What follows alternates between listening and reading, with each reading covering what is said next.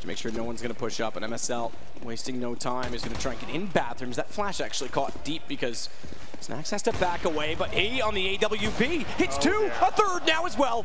And he's still got to line up for a fourth. Come on, Snax, get the ace. It's right in front of you, and you've got all five. How many aces are we going to see in big tournaments from Snax? Sure, it's against a partial buy, but it's a big round, sending out a clear message that he's here and he's ready to play.